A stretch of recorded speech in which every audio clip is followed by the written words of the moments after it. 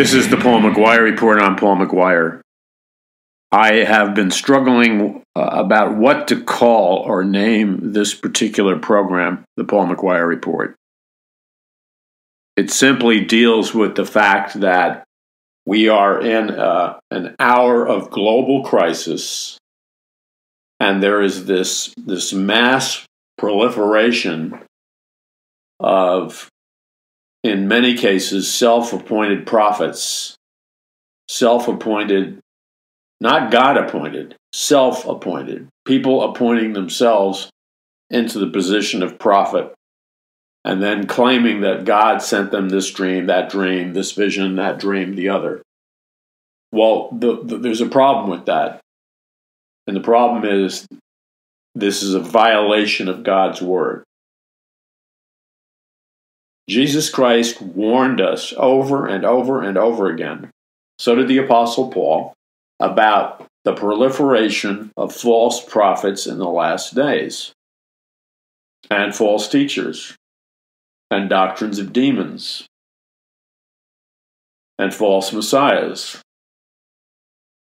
Every time I turn on Christian television, I see somebody else who claims to be a prophet, who has some variation or some difference on what's going to happen to the United States and the world due to the uh, coronavirus or whatever. Now, let's be honest God is not schizophrenic, nor is he bipolar, nor does he have multiple personality disorder. God's not confused in his supreme being uh, about what the outcome is. God wouldn't have a prophet over here on the left say one thing and the prophet on the right say the complete opposite. And you have a lot of these prophets disagreeing with one another. People stepping outside the level of their anointing. People who can't discern the difference between what they imagine, what a feeling is, uh, what uh, a human dream is, or a human intuition, they can't they can't tell the difference between their own human intuition and the authentic voice of the Holy Spirit, if He spoke to them at all in a in a out loud tone. Most of the stuff that, that people are passing off as prophecies is nothing more than either self inspired uh, visions and dreams, human inspired Maybe they feel it's the Holy Spirit. In any case, God, look, God is not confused. God doesn't have a fragmented mind. So this this is we're in an hour of crisis.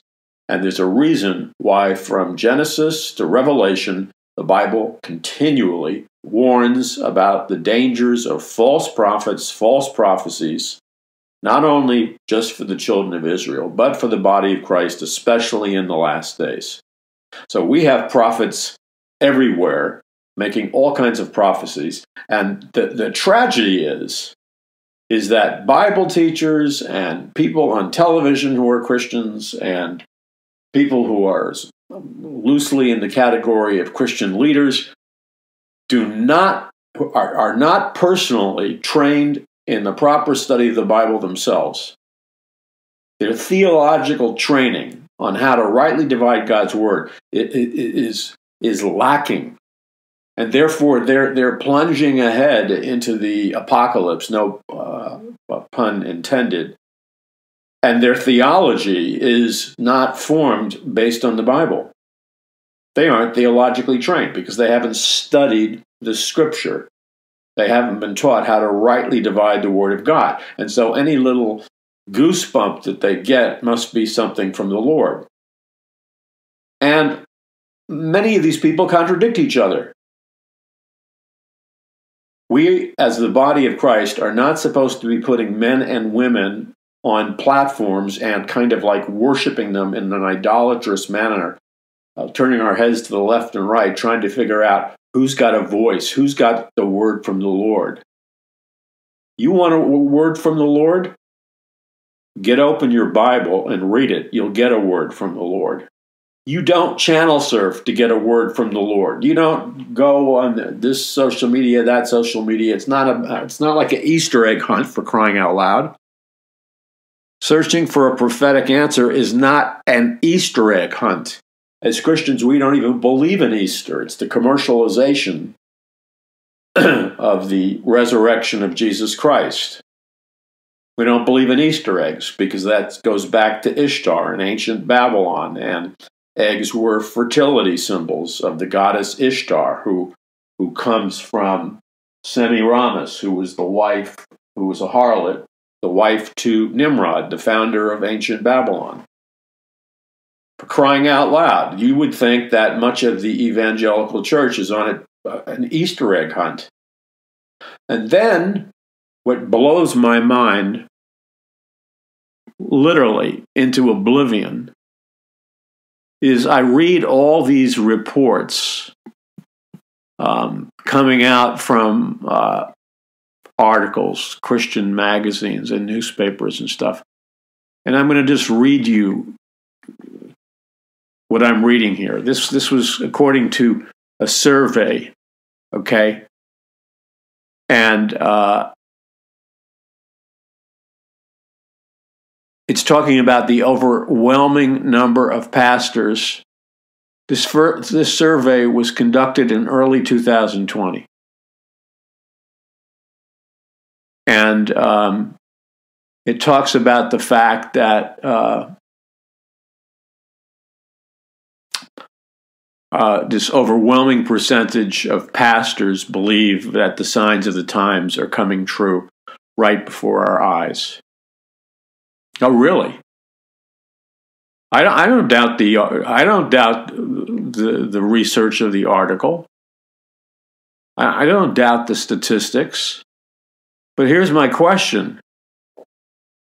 You have this overwhelming percentage of, of evangelical pastors talking about that they believe in Bible prophecy and, and, and the literal return of Jesus Christ and Israel and, and biblical prophecies. Okay, great. Where were all these pastors, this overwhelming percentage of pastors who believe that we are in the signs of the times, that biblical, prophecy is happening all around us, right? It's some astronomical figure that they believe this. Well, where were they last month, the month before, the month before, the year before, the year before, the year before? Where were they for the last 20 years or more? They have these, many of these same pastors have been completely silent. They have not taught Bible prophecy at all. They haven't, they've censored Bible prophecy and they've persecuted those ministers and those Christians who believe in Bible prophecy and bother to study it. So, so we have this kind of like uh, super trendiness that all these pastors now that were in the coronavirus, oh, they all believe in Bible prophecy. Were they faithful watchmen? I mean, I'm asking a very serious question. Were they faithful watchmen or not? What does the Bible say? Um, there, there's statistics all over this article. It gets to be confusing. But the point is, there's a very large number of pastors who believe that we're in the time of the, the signs of the times that Christ spoke about and with Israel and Bible prophecy. Okay? Um, one in 10 pastors, 11%, say they don't consider any of these part of the birth pains. That's a tiny minority. Okay? The minority don't believe that these are the birth pains that Jesus Christ talked about. So, my question is if you have all these pastors, uh, nine, according to this article, vast majority of pastors see signs of end times and current events by Aaron Earls. Um, it, it says almost nine in 10 pastors see at least some current events matching those Jesus said would occur shortly before he returns to the earth. So the majority of Christian pastors, evangelical pastors, say they believe that Bible prophecy is being fulfilled in our lifetime. Okay. I don't doubt the research. But let's take, and this is not designed to criticize pastors for, for just no reason. But this is all in light of the, the increased intensity surrounding the coronavirus, okay? And other earthquakes and other things. So, so a faithful watchman, not an unfaithful watchman, a faithful watchman stays in a high tower or a high place, and a faithful watchman keeps on the alert and lookout for the enemy coming in the distance and it is the command of God that the faithful watchman stays awake, pays attention, and then blows the shofar, the trumpet of warning to the children of Israel as they encamp. The faithful watchman stays awake, okay, blows the trumpet of warning long enough in advance so that the children of Israel can rally themselves and protect themselves from the enemy. Well, if all these Christian pastors who are saying that we believe in Bible prophecy is being fulfilled, my question immediately is I don't care what you believe today in light of the coronavirus. What did you believe yesterday, last week, a month ago, a year ago, five years ago? I'll tell you the, mo- the vast majority, this is not Paul McGuire saying this, this is according to highly respected pollsters something like 87, according to these respected pollsters, before the coronavirus, these polls were taken. Barna and other respected pollsters said that 87% of evangelical churches refuse to teach Bible prophecy. 87%. So now we got these figures that 9 out of 10 evangelical pastors um, believe in Bible prophecy now that we have a coronavirus.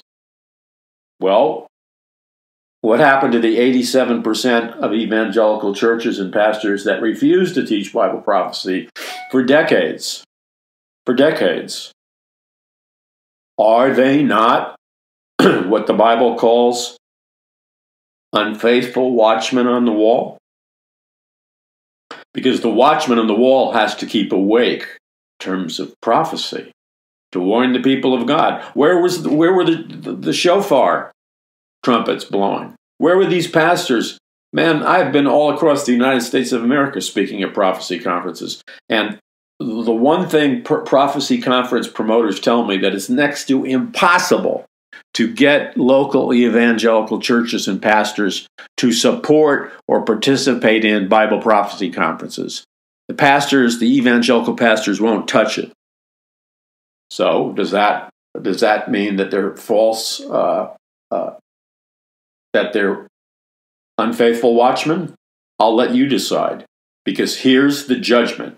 There's a way to determine whether or not somebody is a faithful or an unfaithful watchman. The faithful watchman stays awake, keeps his eyes peeled to see if the enemy of God's people is coming from the distance, and then stays awake, looks at the signs of the times, and then blows the shofar, the trumpet, way in advance to warn God's people that the enemy to destroy God's people is coming. These pastors have not been around, except they have. They've been hiding somewhere. They've been hiding somewhere. And, and, to, and, to, and, and, and, and to let this just slide by, it's not a matter of retribution. It's not a matter of a desire to embarrass somebody. It's a matter of accountability. Okay? It's a matter of holding watchmen accountable. Where have you been, man? And besides that, you're still not telling the people the truth, the whole truth. So, what is the biblical rule? And this is the number one thing. The biblical rule is quite simple that in the Old Testament, according to the law of God, if somebody claimed to be a prophet and if they had a dream or a vision or a prophecy, and they made and they declared their, their dream or vision or prophecy to God's people, the children of Israel, and that prophecy, that dream or that vision did not come true, the penalty, according to the Old Testament, was that prophet was designated as a false prophet and had to be stoned to death, killed, for making a false prophecy. So, in other words, the biblical law was 100% accuracy by this person who maintains that they're a prophet, or they get stoned to death. That's the biblical rule. That's the rule that Israel lived under. Now, people go, well, we're in the New Testament. We're in the New Testament, but do you think that God is uh, is uh, ignores false prophets? Jesus Christ didn't talk about ignoring false prophets. Why do you think Jesus Christ went out of his way to warn the disciples and his people about the fact that in the last days there would be an alarming rise of false prophets, false teachers, false apostles? Why? Because those are the people that Satan uses to lead God's people astray. And yet we have this epidemic of, of Christian leaders and Christian pastors and, and, and people who should know better teaching the body of Christ. They need to teach themselves first. Why are you following false prophets? You say, well, I don't believe they're a false prophet. Look, it doesn't take a rocket scientist and it doesn't take a Nazi rocket scientist to figure this out. That the biblical test for whether or not someone is a true prophet of God is 100% accuracy. Now, I know famous prophets. By famous, I mean um, their names are well known to large numbers of Christians in the United States and uh, around the world. And they have made, many of these people have made prophecies that have not only not come true, the opposite came true. Yet they continue to get big crowds being prophets. Well, what happened to God's law about making false prophecies? The lack of discernment in God's people is evidence of the fact that they're not being taught by faithful Bible teachers. They're being taught by false teachers. False teachers. False teachers. Because, again, there is a biblical rule. You can't violate the biblical rule. The biblical rule is this that the Word of God is the final authority. That's the biblical rule that God's Word, not an experience, not a dream, not a fantasy, that God's word alone is our final authority. And if it's not written explicitly in God's word, you don't embrace it. You don't believe it just because somebody says they had a prophecy. This is a very serious thing. The blind leading the blind. It's going to end up in a disaster. It's, it's like on some of these programs, it's like the Prophet of the Week Club. It's like ridiculous. at least in in certain other professions, people have to be licensed or people have to be trained or whatever. Now, anybody in the evangelical church can stand up and say they had a vision or God spoke to them or whatever. It means nothing. And on top of that, you have huge numbers of people in the body of Christ who theoretically have the Holy Spirit, which is the Spirit of truth in them, following all kinds of mysterious internet personalities that they don't know anything about. They don't even know who these people are. Some of them go by one letter in the alphabet. I'm not targeting anybody. I'm not putting this person or that person down. But for crying out loud, you're fall- there's all these internet entities and and people. How do you know they're even not they're real? How do you know they're not algorithms developed by the CIA? How do you know they're not deliberate disinformation agents? I can go all over the internet and this person is speaking and they have a huge following. Z is speaking. Oh, did you hear what Z had to say? Boy, Z said this. I mean, really, man, how stupid can you really be? Does it take effort to be that stupid? Because I don't believe God created you to be that stupid. You're abusing and misusing the brain He gave you. You're supposed to discern the prophets, it says in the New Testament. You're following Z and you're following G and you're following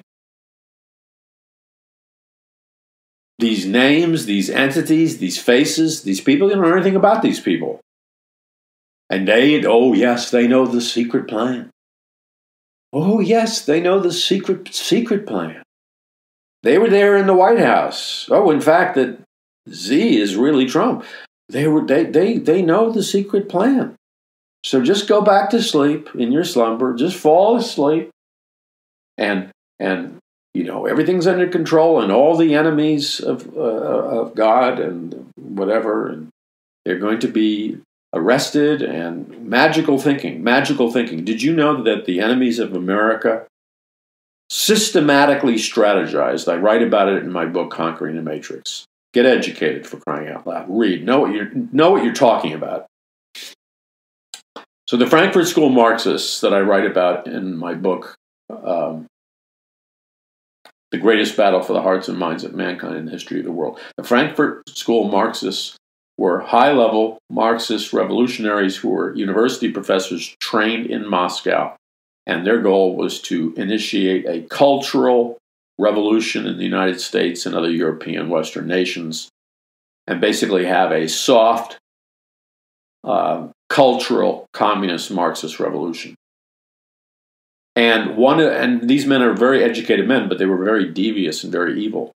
They, they, they said in their own words that one of their goals was to promote magical thinking among Christians and conservatives and Americans as much as possible to, to encourage them to indulge in what they called magical thinking. Magical thinking is when you revert to being a little child and you believe in Disneyland and Mickey Mouse despite the fact that it's not real. Magical thinking is when you deliberately choose to throw away your logic, your reason, your intelligence and engage in, in, in, absurd patterns of behavior, which are, are, are the equivalent of the Easter Bunny you know, uh, or Santa Claus coming down your chimney and you leave out a, a, a thing, a cup of milk and, and some cookies that you baked for him.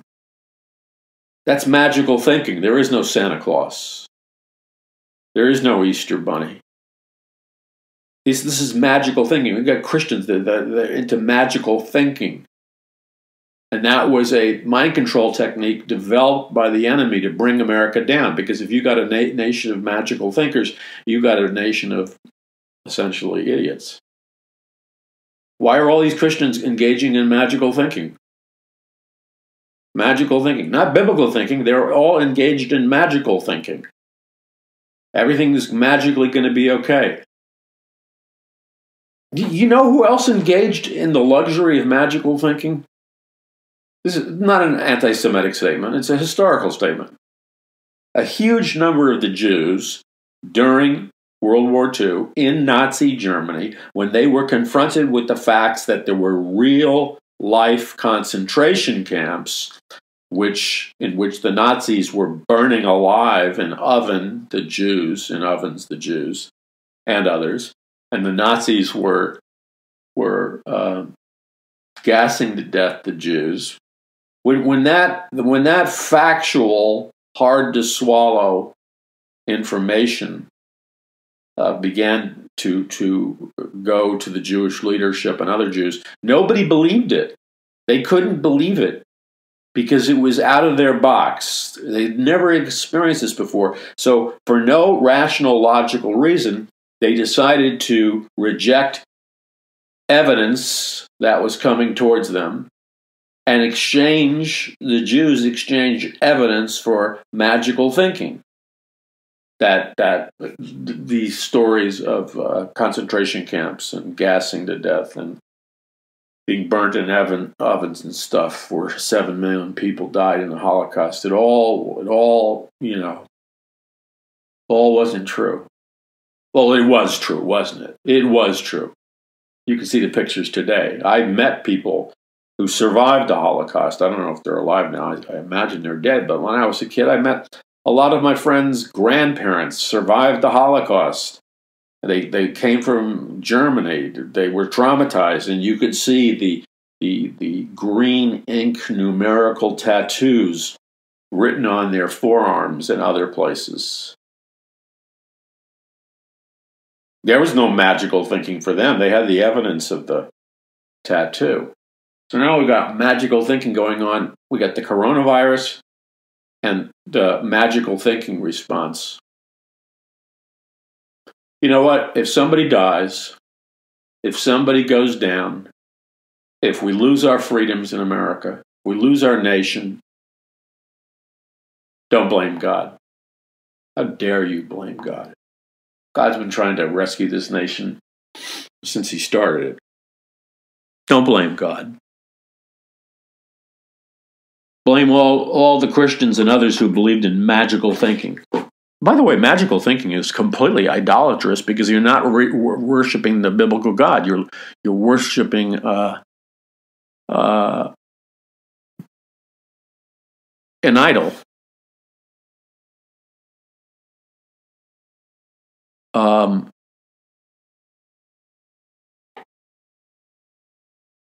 I can't. I, am reading what this person said. I'm ready to barf. It's so disgusting. It's Christianese at its worst. I can't take it. Really, I cannot take it because Christianese is synonymous with magical thinking. Okay, so let's look at the facts. Never before have we needed to not only rightly divide the Word of God, but use the God given intelligence that the Lord has given us. So we can survive, so we can overcome, so that we can be victorious, and so that we can fulfill the Great Commission, win people to Jesus Christ, make disciples of all nations. But none of that See, that, that can be done with supernatural thinking that's biblically based, but that's different than magical thinking. Because supernatural thinking that's biblically based means that we pray to God and believe that God can miraculously answer prayer. But we put some constraints. Um, we don't come back from heaven with visions that there's public transportation in heaven and isn't it going to be great you know when i read this stuff i get post-traumatic stress disorder. Well i've never had that but i get it. Because people are are saying god took them up to heaven and then they said heaven's really wonderful because it has the greatest public transportation system ever seen. God has made this incredibly fun public transportation system for his people in heaven. Do you know how insane that sounds? Do you have any idea how totally insane that is? That person obviously has never ridden. That's not good English, but that person has never apparently traveled on public transportation because public transportation is in most cases notoriously awful, disgusting, filthy, substandard, and a nightmare. So you're saying that God's imagination is so limited that the, the only way we're going to get around in heaven is to take a heavenly equivalent of public transportation? When public transportation down here on earth is synonymous with, with substandard, disgusting transportation. Do you, have you seen the pictures and the videos of the people crammed together in those subway cars in New York City, all wearing deficient face masks and those plexiglass eyeglasses thing, and the social distancing. There's no social distancing on the subway. They're all jammed together, pressing their bodies against one another and they are all wearing masks and they're wearing scarves in a desperate attempt to keep germs from, from being spread. That's public transportation. So you're going to tell me God's going to God's going to use that as the template for transportation in heaven? What are you crazy? You are not going to survive the, the corona crisis tomorrow or anything else until you give up magical thinking and start to renew your mind and have biblical thinking and stop listening to false prophets, false teachers, and doctrines of demons and start using your God given common sense, rational thinking, and logic. That that's your freedom plan. So you, you got to choose to either rightly divide the word of God or not. Why do you think Jesus Christ went out of his way to repetitively warn about false prophets, false teachers in the last days? Because he knew that when the signs of the times exploded, there would also be an explosion of false prophets and false teachers. You're listening to the Paul McGuire Report. Visit paulmcguire.us, spread this message far and wide. Um, send it to your friends and visit paulmcguire.us. This is the Paul McGuire Report. We'll be back in just a second.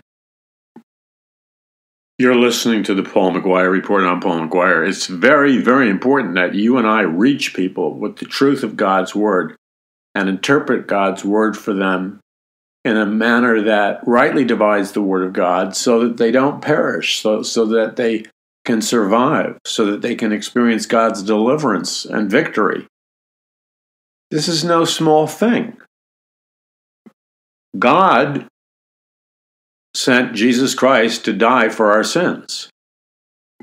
And the, the number, the sheer number of Bible verses in the Old Testament and the New Testament that warn us about false prophets is is God is is shouting to us, so to speak, not in an angry manner, but God wants us not to be deceived. So let's just read some verses in Ezekiel chapter 13, verse 9. My hand will be against the prophets who see false visions and utter lying divinations.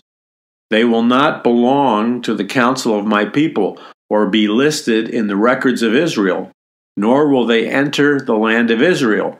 Then you will know that I am the sovereign Lord. In Jeremiah 23:16, this is what the Lord Almighty says Do not listen to what the prophets are prophesying to you. They fill you with false hopes. They speak visions from their own minds, not from the mouth of the Lord.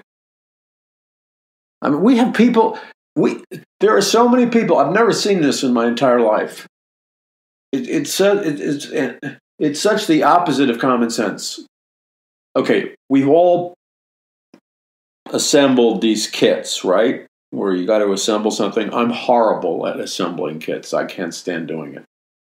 When I was a kid, I bought a couple of model airplanes, model jets, and I assembled them, and I hated it.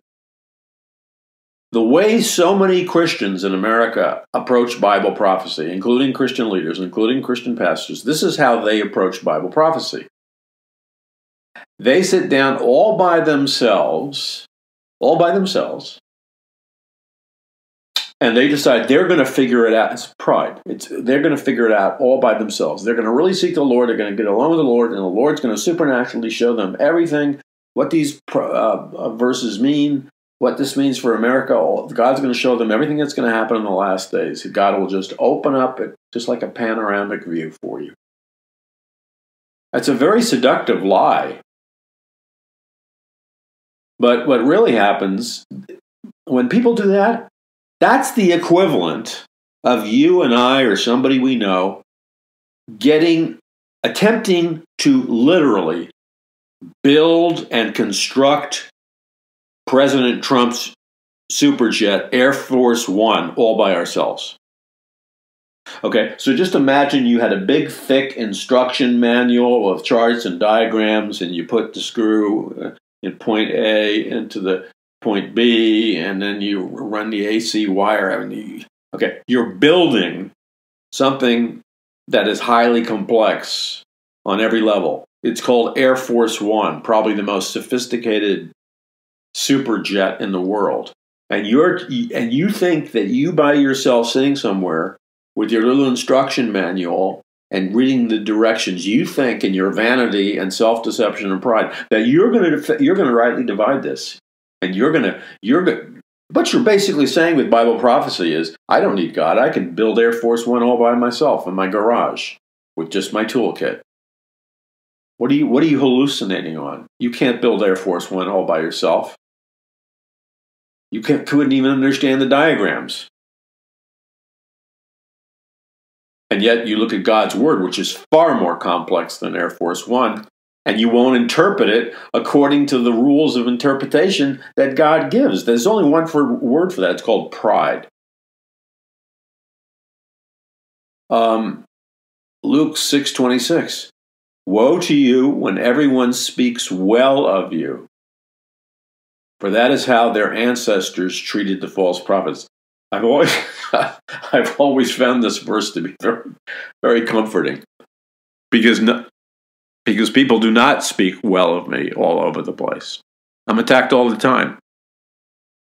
So I find this reassuring because it says, Woe to you when everyone speaks well of you. That that's not my life experience. For that is how they that is how their ancestors treated the false prophets. Matthew 24 4. For false messiahs and false prophets will appear and perform great signs and wonders to deceive, if impossible, even the elect. So Jesus Christ is saying in the last days, during the signs of the times, there's going to be false Christs and false messiahs and false prophets, and they're going to perform great signs and wonders to deceive, if possible, even the elect. The elect are those chosen by God to spend all eternity with Him. Matthew 16, 11 to 12. How is it you don't understand that I was not talking to you about bread, but be on your guard against the yeast of the Pharisees and Sadducees? Then they understand that he was not telling them to be a guard, to, to them to guard against the yeast used in bread, but against the teaching of the Pharisees and the Sadducees. You, my friend, listening to me, Paul McGuire on the Paul McGuire Report, you and I are supposed to understand that you and I are supposed to be on guard against the yeast of the bread, but not but but we're not talking about like bread you eat. We're supposed to be on guard against the yeast used in the teaching of modern day Pharisees and Sadducees. And by the way, modern day Pharisees and Sadducees are not simply Jewish teachers. They're even modern Sadducees and Pharisees are evangelical Bible teachers. Not all of them, some of them. Okay? And the, the, if you allow yourself to be corrupted by the Spirit, and it's not the Holy Spirit, of their teaching, you, you will find yourself on the way to hell. Second Timothy 4 3 to 4. For the time will come when people will not put up with sound doctrine yeah, I know. They want to follow Z or R. Well, today let's start a new cult. Follow G. Did you hear what G said? G must have. G must be sitting in the White House. Oh, come on, man. What, what are you addicted to? You mainlining the cartoon channel content? Is that what it's about? I mean, do you not have a pulp? A little piece of pulp of a brain left? But the time will come when people will not put up with sound doctrine. Look, running around following G and S and V and W and Z and basing your life plans and your bank account plans on what these people say, you're you're sorry. Um, you, you know what God says? But the time will come when people will not put up with sound doctrine. Instead, to suit their own desires, they will gather around them a great number of teachers to say what their itching ears want to hear. They will turn their ears away from the truth and turn aside to myths. Acts 20, 28 to 30. Keep watch over yourselves and all the flock which the Holy Spirit has made you has made you overseers. Be shepherds of the church of God, which he bought with his own blood. I know that after I leave, savage wolves will come in among you and not spare the flock. Even from your own number, men will arise and distort the truth in order to draw away disciples after them. 2 Peter 3 14 to 18. So then, dear friends, since you are looking forward to this, make every effort to be found spotless and blameless and at peace with Him. I'm going to skip ahead. 1 John 4 1 to 6. Um, oh, this is very important. Starting in verse 1. Dear friends, do not believe every spirit, but test the spirits to see whether they are from God because many false prophets have gone out into the world. This is how you can recognize the Spirit of God. Every spirit that acknowledges that Jesus has come in the flesh is from God, but every spirit that does not acknowledge Jesus is not from God.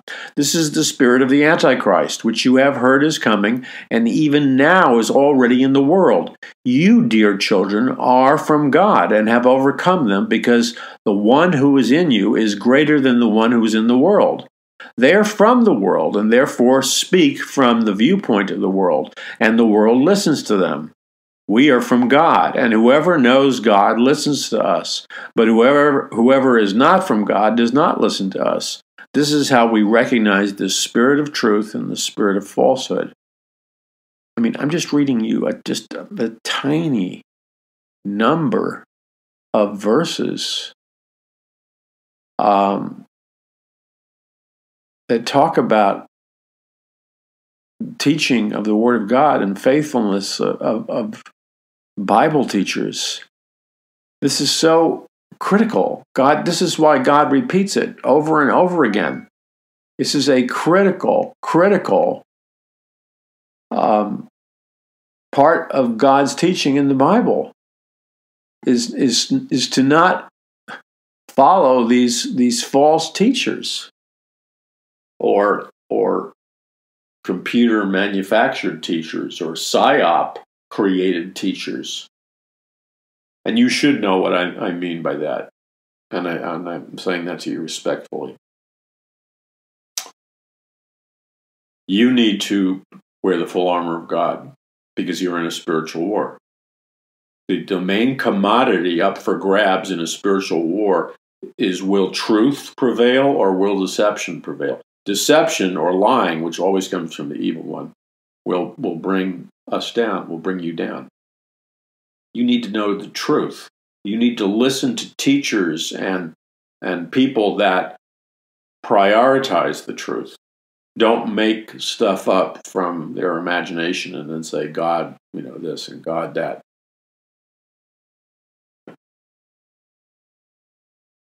Never before have we not needed authentic voices of leadership that are educated and biblically sound.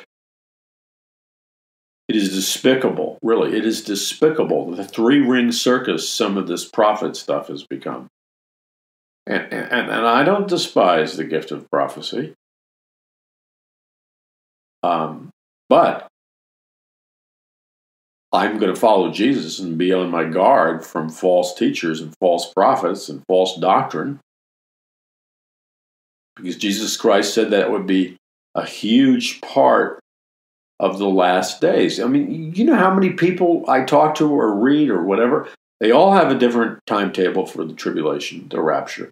They all have a, a little different, unique twist. There are so many disagreements and so is God all that confused? Did they, and all the people that I mean, not all, most of them, but believe that God showed them the, the truth of this? Well, if God showed you the truth of this, how come everybody else is saying something different? Use your, use your God given mind. Don't get over to a reprobate mind. A great apostasy means the great falling away from the truth. You can only fall away from the truth to the degree that you were with the truth. And Jesus Christ said, I am the way, the truth, and the life. No man comes to the Father but through me. You need to cry out to God for wisdom. This is how you double check with God it's humility. You go before the Lord, Lord, forgive me if I've opened the door to deception or delusion or whatever. I humble myself before you, Jesus, and I ask you to give me the truth.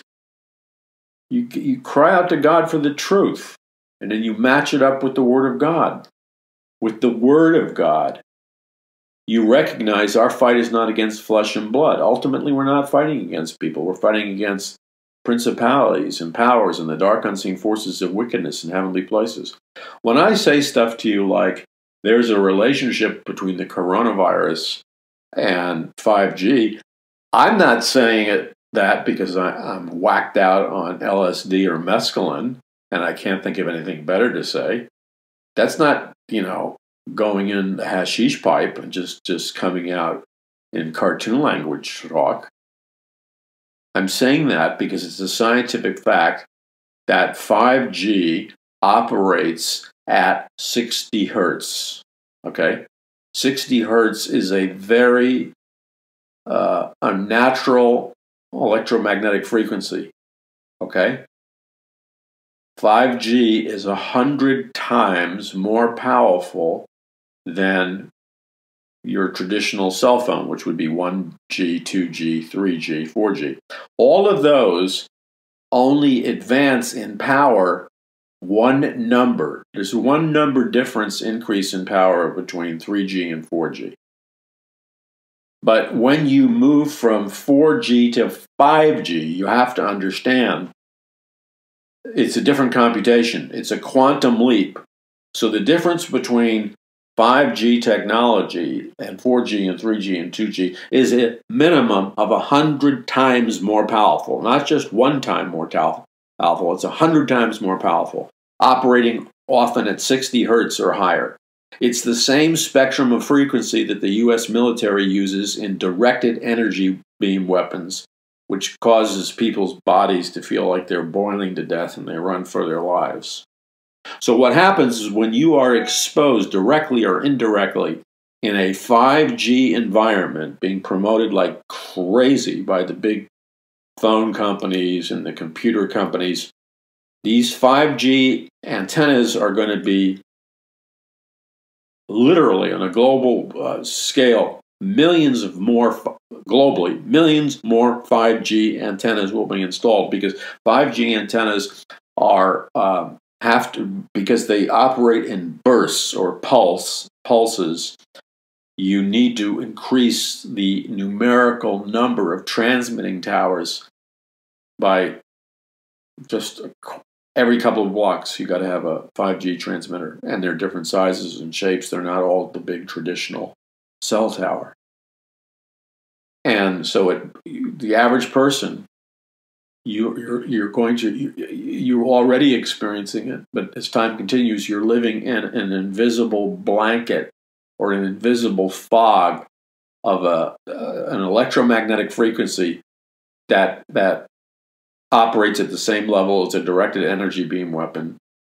And it is a scientific fact that the electromagnetic frequency that 5G operates on is killing to your immune system, accelerates the aging process, uh, uh, uh, reduces your longevity, um, is a precursor to Alzheimer's, dementia, uh, and all kinds of psychiatric illnesses. It's also an activator for a whole host of flus and bacteria and everything else. In other words, this is why we know scientific, scientifically because uh, how 5G can accelerate or activate the coronavirus, it's not because we were watching some old James Bond movie where the villain is is in some secret hideaway under the sea or something, uses science fiction weapons against 007. That's not what we're talking about.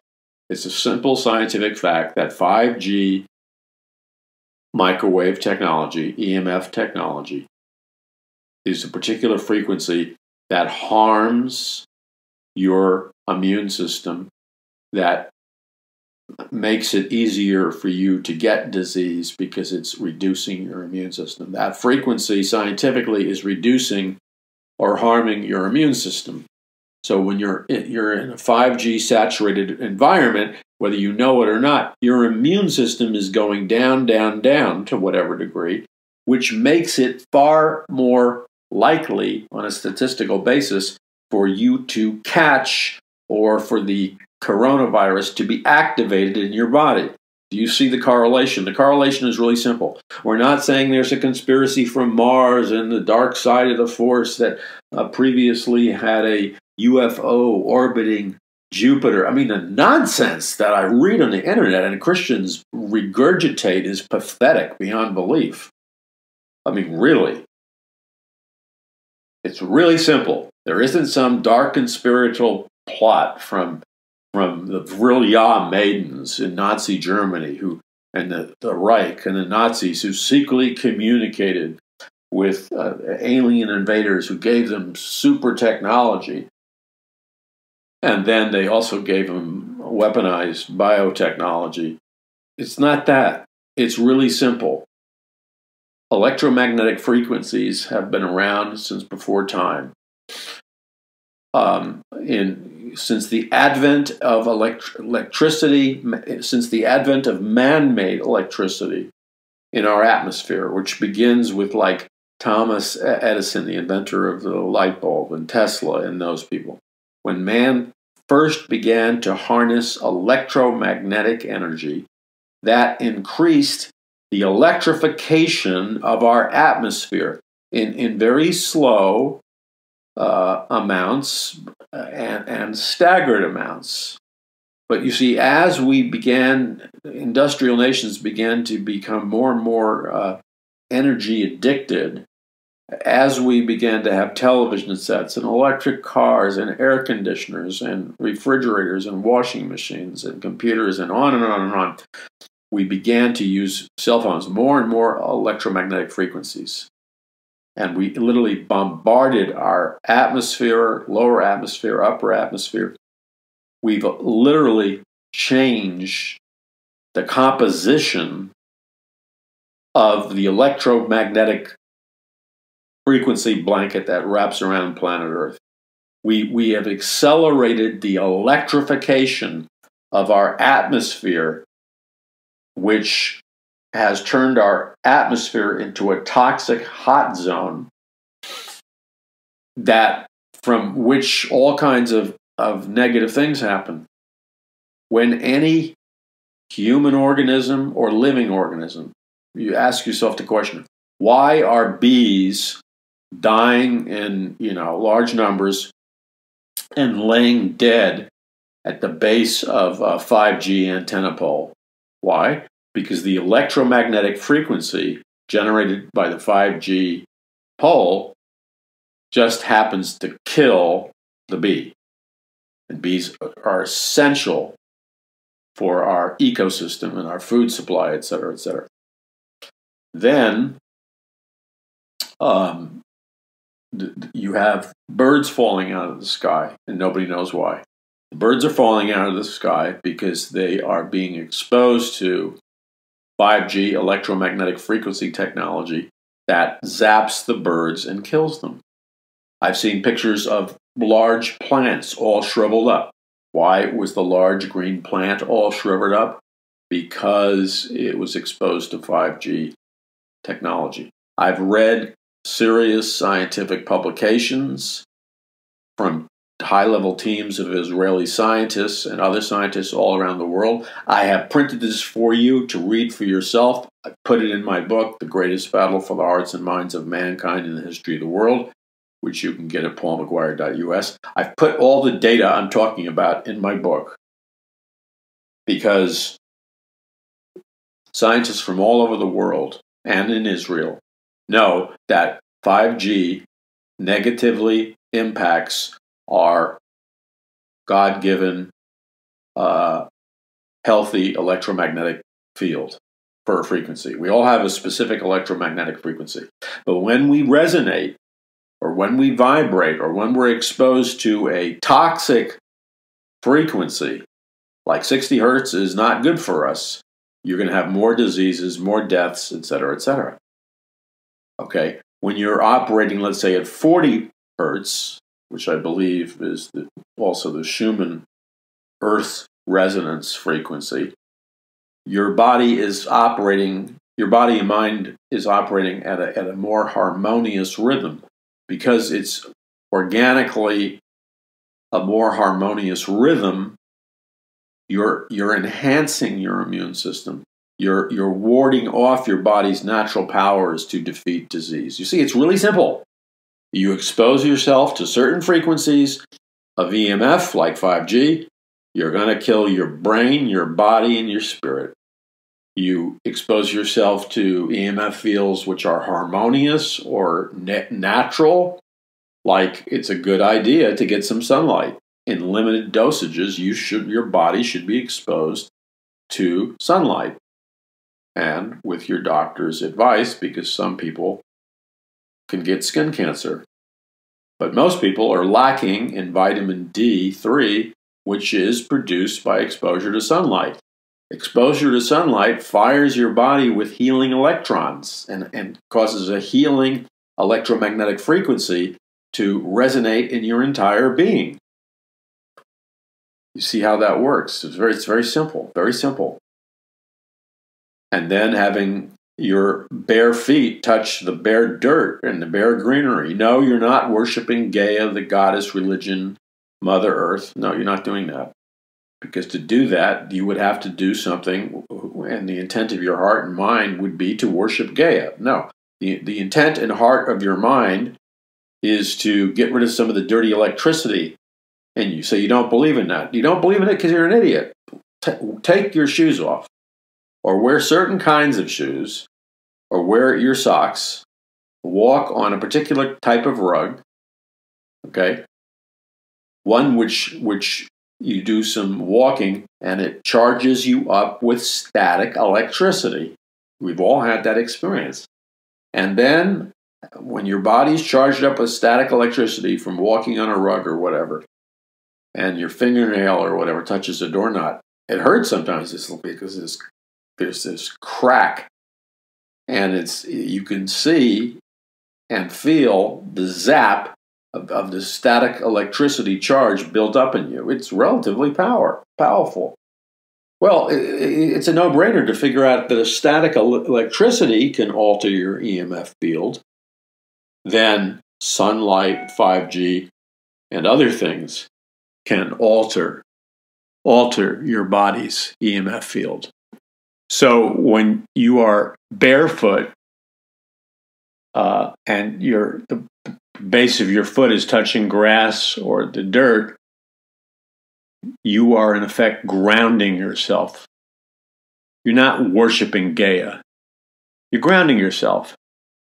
And that gets rid of dirty, toxic electricity. It helps get rid of toxic EMF fields. It's a grounding thing, it's a good thing.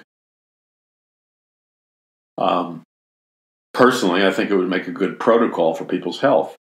Because you see, Let's just do the basic science. I'm, I'm reducing it to make it simple. Okay, so 5G is an electromagnetic frequency that um, has the power to, to destroy your immune system, spread disease, create mental illness.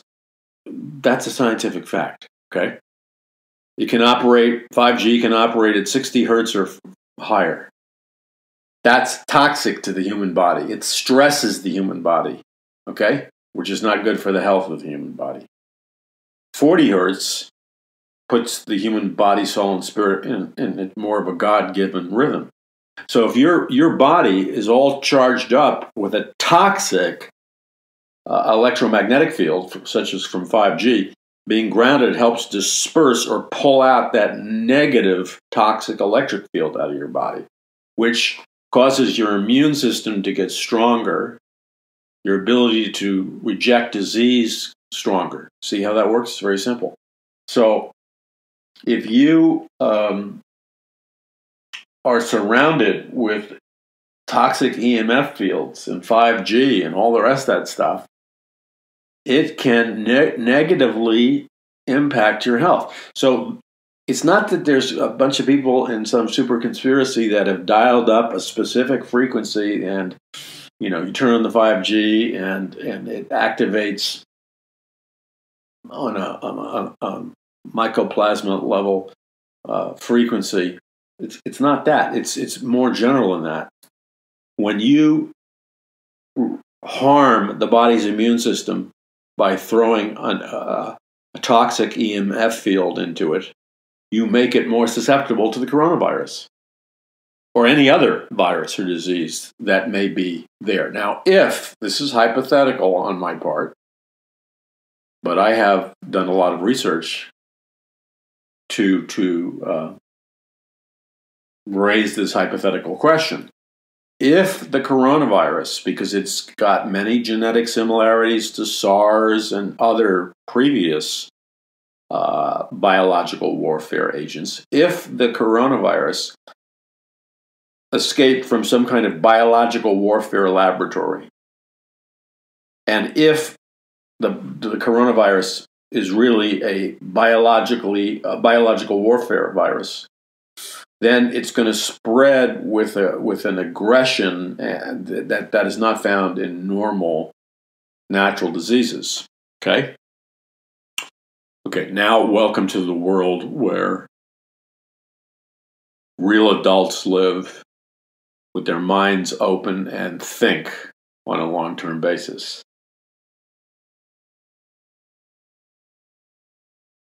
I allow, I rely upon the Holy Spirit guiding my research, but then I do meticulous research, comparative studies, etc., etc. So the Lord led me to study EMF, electromagnetic frequencies, 20 years ago. And, and in every book, He's heightened uh, in me a sense to write about EMF, 5G, etc., etc. So before the coronavirus was even an issue, before the word coronavirus was even known publicly, I was finishing up my book, uh, The Greatest Battle for the Hearts and Minds of Mankind in the History of the World. And the Lord specifically put it in my heart to, to do, to continue doing a lot of uh, uh, writing on 5G. So it's in the book, The Greatest Battle. Lots of information on 5G. But then the Lord also prompted me to study genetically modified organisms, and the Lord prompted me to study EMF fields, electromagnetic frequencies, and the Lord uh, prompted me to research um, um, EMF fields, 5G, and uh, autoimmune diseases and related subjects. With quotes from scientists, doctors, etc., etc. So that is all in my book, The Greatest Battle for the Hearts and Minds of Mankind in the History of the World, along with um, uh, Conquering the Matrix and Mass Awakening. Okay, so here, here, here, here's the thing. It's very important. You see, there's a relationship between disease, mental and biological, and electromagnetic frequencies. And then, as my previous research began to reveal, I first talked about it in my book, uh, Conquering the Matrix, and then The Greatest Battle for the Hearts and Minds of Mankind in the History of the World. That I don't know what the total number of autoimmune diseases are. I don't think anybody knows. Let's say hypothetically there's 35 autoimmune diseases. The reality is there's far more than that. So we're talking about all these diseases that people have that they don't speak about that in a general sense, if they kill you, they kill you very slowly. They're more what are called disabling diseases. Autoimmune, autoimmune diseases, for the most part, don't kill quickly. They kill, kill slowly over time by degenerating the body. All right, by, by, by negatively impacting the immune system. And so, so you have an entire spectrum of these diseases, which I talk about at length in my book, The Greatest Battle. So I'm going to turn to that.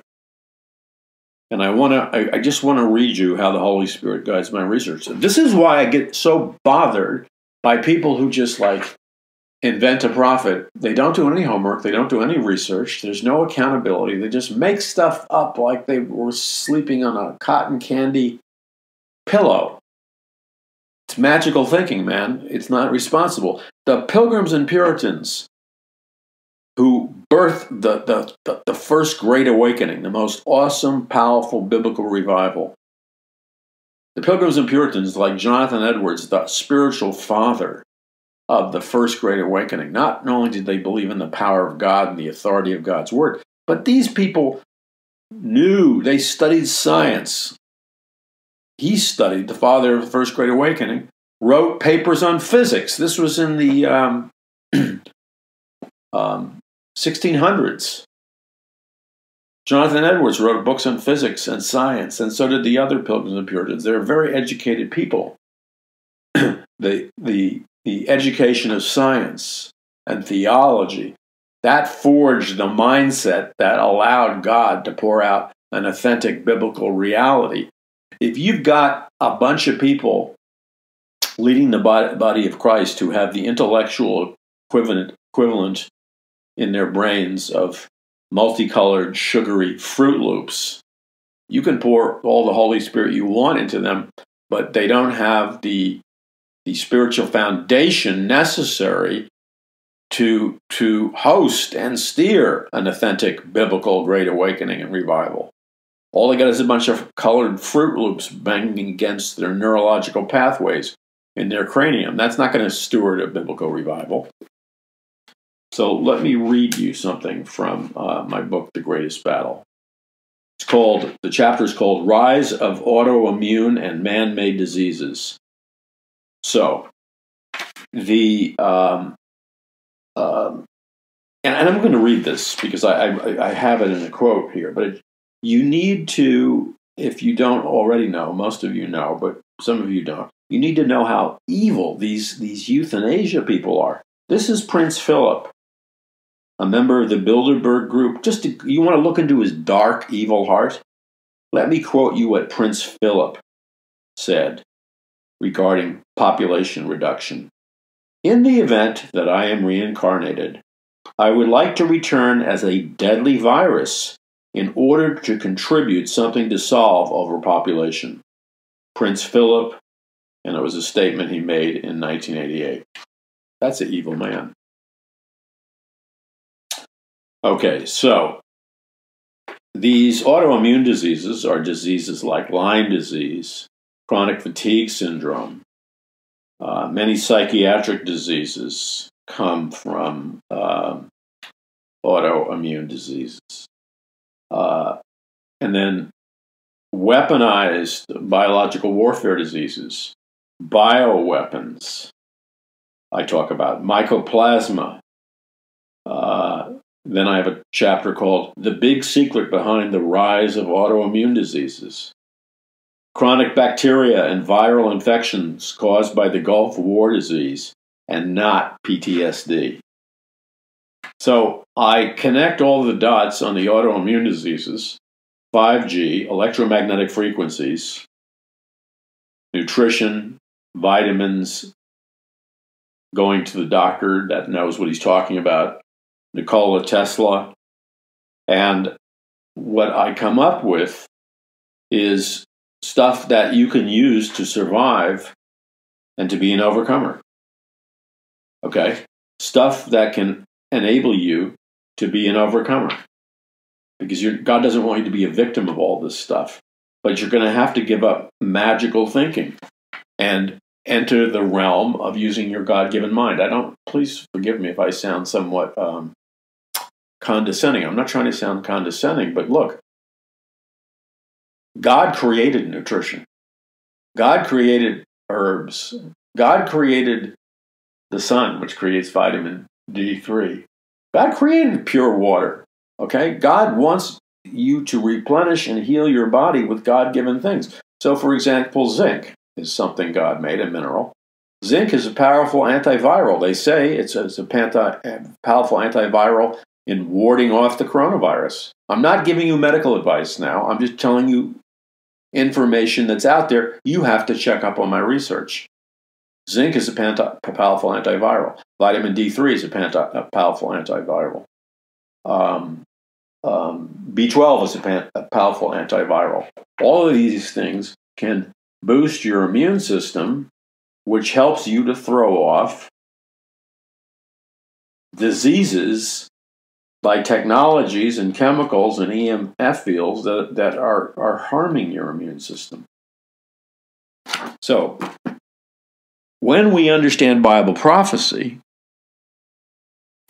not that we were ashamed to teach Bible prophecy for the last 20 or 30 years of our life. And oh, when Paul just came out, now I'm all for teaching Bible prophecy. Of course, I haven't taught it yet. But when you read the book of Revelation and you read about the signs of the times, you recognize that before the return of Jesus Christ, so for example, you see, if you actually were taught the book of Revelation, which is Bible prophecy is the most important theme in the Bible. But in the seven seal judgments, let me read you uh, what the seven seals reveal. They reveal first the white horse, who's the Antichrist, coming to conquer the red horse that represents war and bloodshed, the black horse, which represents famine, the pale horse, which represents pestilence and, and biological death and biological warfare. Souls under the altar, these are the martyrs that died believing in Jesus Christ. A great earthquake. That's just in the seven seals. Then we go to the seven trumpets. And there's all kinds of things silence in heaven, hail, fire, blood, sun diminished, plague of locusts, plague of horsemen. Um, these plagues, um, the, the seven key figures. The woman represents Israel, dragon represents Satan, Male child represents Christ. Michael is the archangel. Remnant, the saved Israel. Antichrist, beast out of the sea. False prophet, beast out of the earth. The seven bowls, boils. This kind of reminds you of Egypt, which I talk about in my book, The Greatest Battle. Boils, sea to blood, rivers to blood, great heat, darkness, Euphrates dried up, hail, um, Seven Dooms of Babylon, The Return of Christ. I mean, intense stuff is happening. And God promises to protect his people supernaturally um, and to deliver us from the wrath to come. So the promises of God are there for you, they're applicable for you to lay hold of by prayer and by standing on the word and the promises of, of God. And having the power of the Holy Spirit in you. And knowing that you have spiritual weapons. And knowing that you have angelic armies dispatched to protect you and your loved ones and family. And knowing that you can call on Jesus and Jesus answers prayer. So the whole point is you don't move into any of these events with fear. For God has not given us a spirit of fear, but of power, love, and a sound mind. Fear is a spirit. Fear is a satanic spirit that is designed to destroy faith.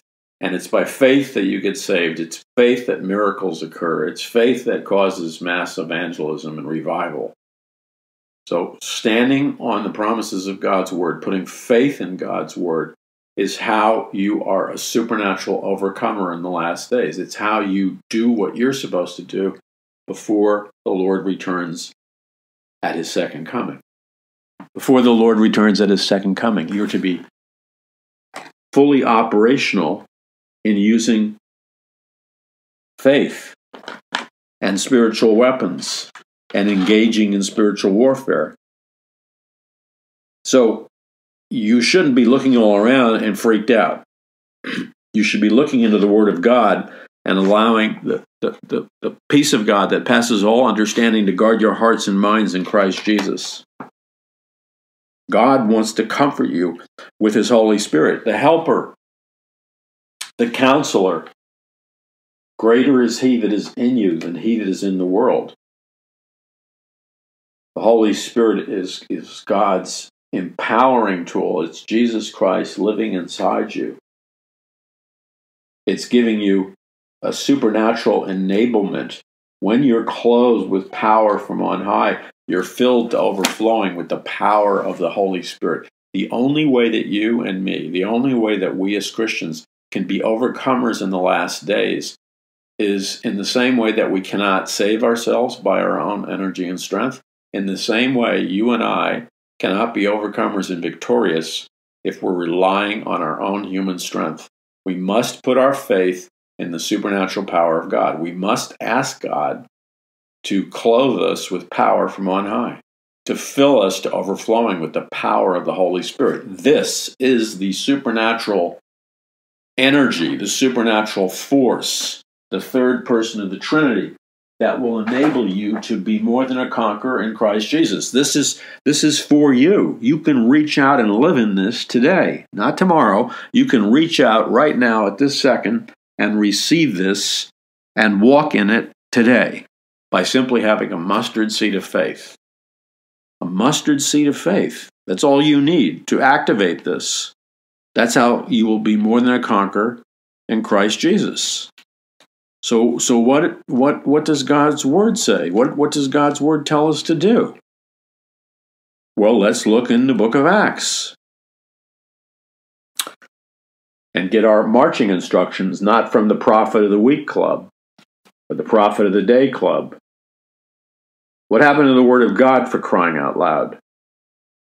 You're not going to be led astray by the Word of God. So, it says in Acts chapter 1, verse 4 And being assembled together with them, he commanded them not to depart from Jerusalem, but to wait for the promise of the Father, which he said, You have heard from me. So the promises of the Father that Jesus Christ was talking about was the, the promised coming of the Holy Spirit. For John truly baptized with water, but you shall be baptized with the Holy Spirit not many days from now. Now, I want to say this prophetically to some of you. When I say prophetically, I don't mean it as like, oh, I'm calling myself a prophet. I'm, I say I'm giving you a message prophetically. That means I'm giving a statement of a prophetic nature. It doesn't mean I'm coronating myself as the grand prophet. Do you, you understand what I'm saying? Okay. So, Jesus said, For John truly baptized with water, but you shall be baptized with the Holy Spirit not many days from now. There's trials and tribulations that, uh, that are above and beyond coronaviruses. The way you're going to be victorious is that you have to be baptized or filled to overflowing with the power of the Holy Spirit. Some of you have already received power from on high. Others of you are considering it. But this is what I want to say prophetically to you. As the birth pains intensify, as the stress intensifies, as the temptation to be afraid intensified. I, I just want to share this with you as, as loving encouragement, and that is this God loves you so much that He is going to send a supernatural and extra enablement of the power of the Holy Spirit so that not many days from now, in fact, seconds from now, many of you are going to be filled to overflowing with the Holy Spirit, which means power from on high, which comes from the word dunamis, which means dynamite, the dynamite force of the Holy Spirit. The only way you're going to be victorious is to be filled with power from on high. So the way you get to be filled with power from on high is to obey God, exercise the mustard seed of faith, and ask Him, just like you asked Jesus to save you and forgive your uh, give you of your sins you ask Him in the same way to fill you with the power of the Holy Spirit, and He will. It's just that simple. Therefore, when they had come together, they asked him, Jesus, saying, Lord, will you tell us at this time to restore the kingdom to Israel? Now listen to what he said. And he said to them, It is not for you to know the times or seasons which the Father has put in his own authority so, what's with all these people announcing the times or seasons?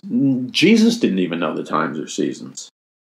But this is what Jesus said to them But you shall receive power. That's you. That's me. But you shall receive power when the Holy Spirit has come upon you, and you shall be my witnesses to me in Jerusalem and Judea and Samaria and to the end of the earth.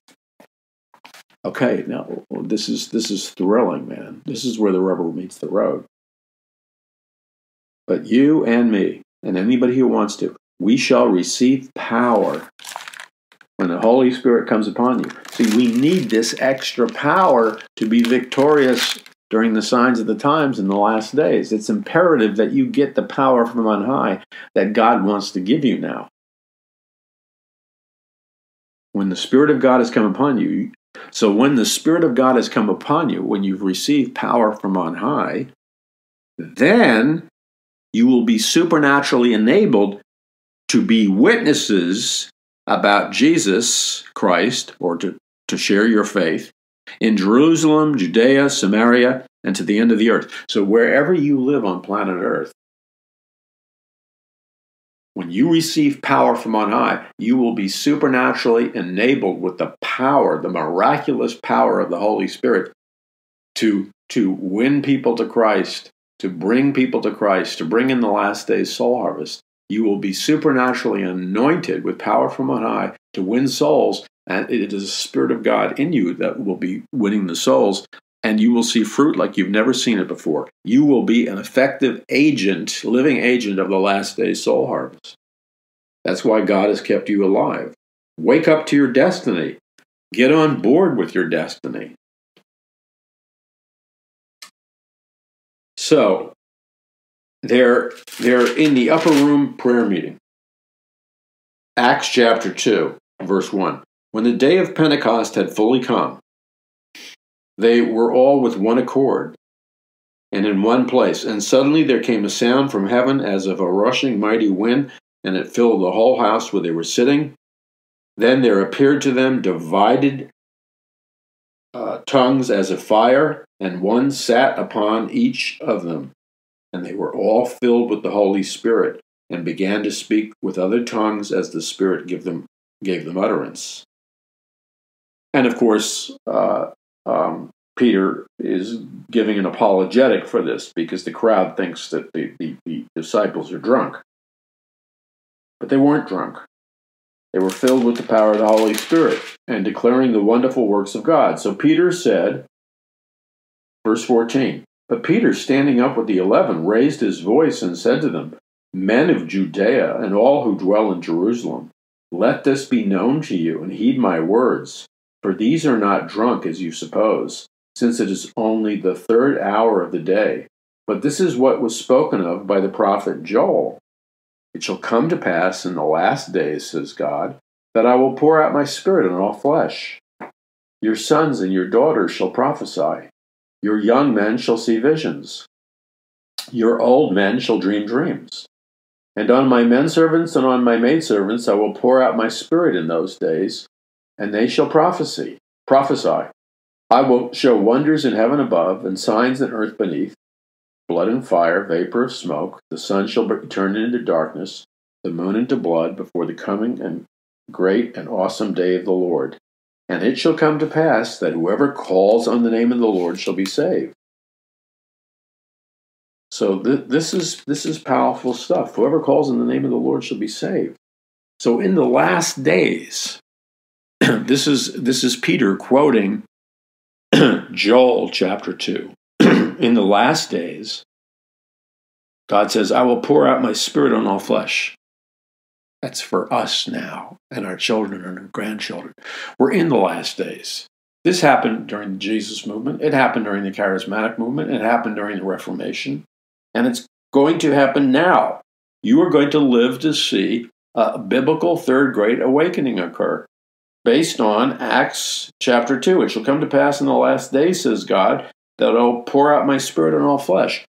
The Holy Spirit will be poured out on your flesh, children and grandchildren, people that you know, just like it was poured out upon you. Many of you know what I'm talking about. When it was poured out upon you decades ago, it's now going to be poured out upon, in their desperation, they're going to go through a shaking. And when they shake in desperation, they're going to cry out to God and they will be filled with the power of the Holy Spirit. And that power of the Holy Spirit is stirring inside you now. You can feel it. It's like a sea change in your inner man or inner woman.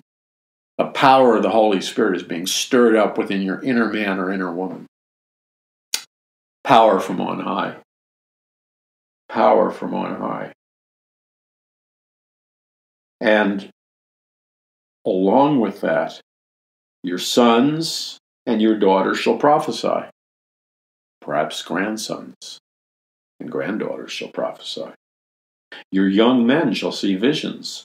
This millennial generation and other generations which have been so turned off to the power of the gospel, you're going to flip. You're going to see it change.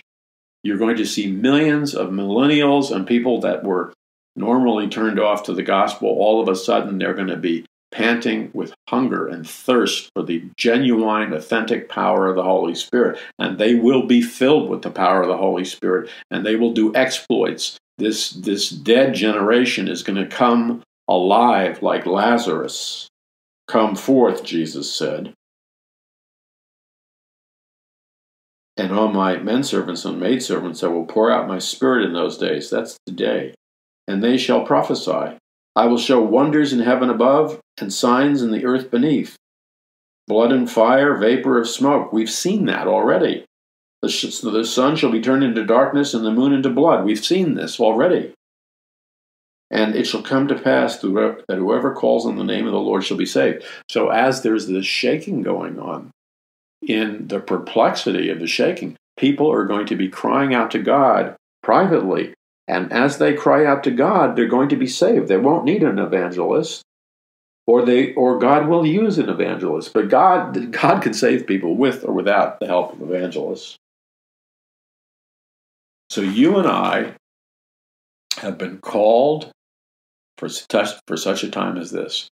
God knew us before the foundation of the world. He called us for such a time as this to, to bring in this massive global last days soul harvest and this authentic biblical revival.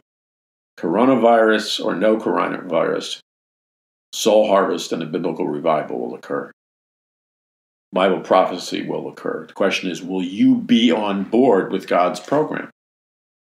And I want to invite you that you can experience the most thrilling and intimate days of your entire life. By intimate, I mean you will know God with a realness that you've never known before. And all of this you can you can step into by simply using childlike faith and asking Christ to come in you and fill you with all his fullness.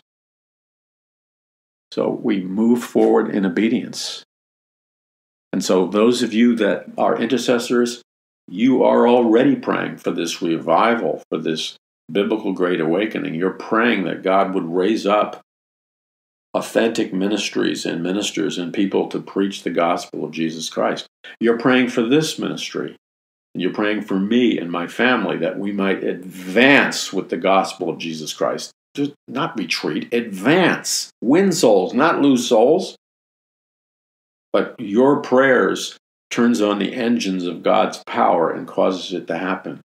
You're being willing to spread these messages far and wide through every kind of social media, plants the spiritual seeds that brings in the last day's soul harvest. And then finally,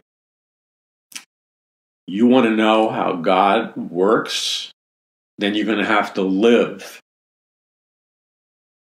on how God works. And that means you you move from being frightened and and uh, constrained by man's systems, and you recognize that it is God that is your supernatural source. It's God that gives you the power to get wealth. It's God that can raise you up positionally and give you favor. And it's God that can put down another. God has always been your source. You were just fooled, like I was, into thinking the middleman was our source. No, the middleman or woman wasn't our source. It was God. It was God that was always our source. So God is your source. And as you rely on God and as you make requests of God, God will supernaturally meet all of your needs and your children's needs, but you've got to call it. You've got to pray for it. That's how God's kingdom works. God, the word says, Beloved, I wish above all things that thou mayst be in health and prosper, even as thy soul prospers. God wants you to prosper. God, God wants ministries like this to prosper. Why? Because the intent of this ministry, Paradise Mountain Church and Paul McGuire Ministries, the intent is to win souls, to spread revival, to prepare people for the return of the Lord Jesus Christ, to teach Bible prophecy.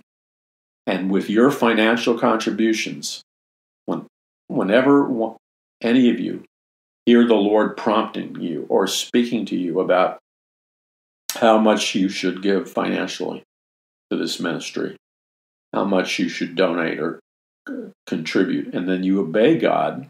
That all requires faith, but you're planting a seed and you're financially enabling us to fulfill the ministry of winning souls and preaching the word that God has called us to do.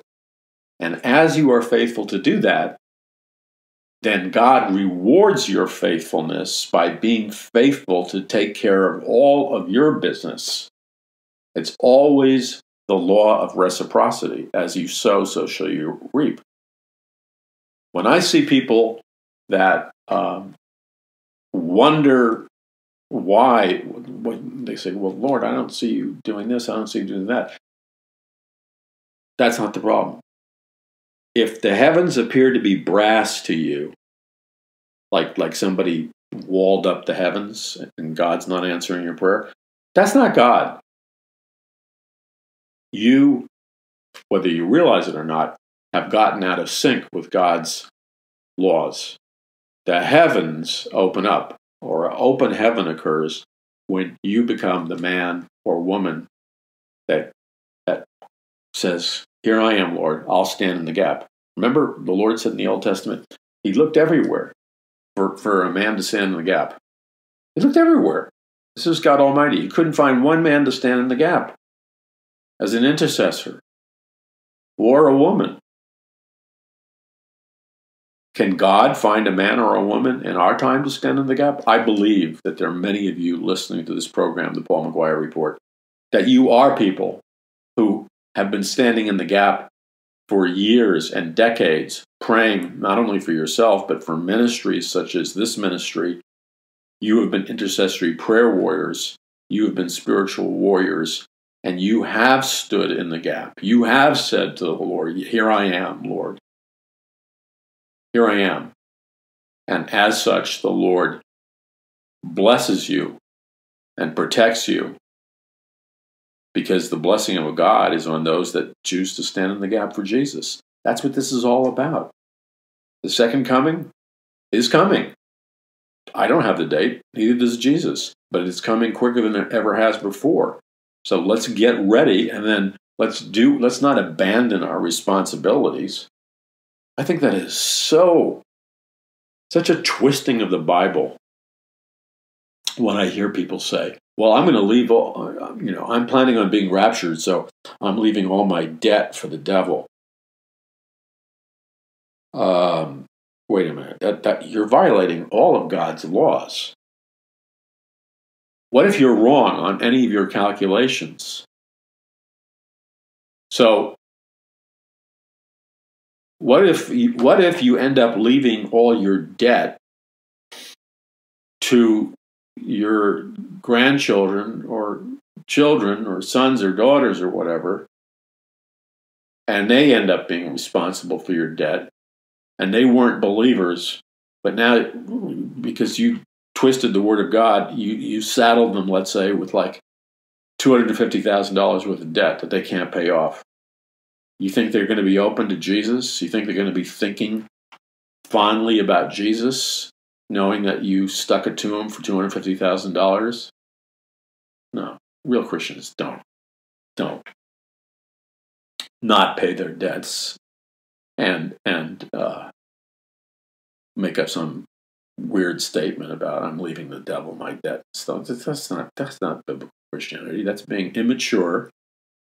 And don't expect to be blessed with unless you repent from that. That's that's not operating with the integrity that God operates in. That's not the pathway to blessing.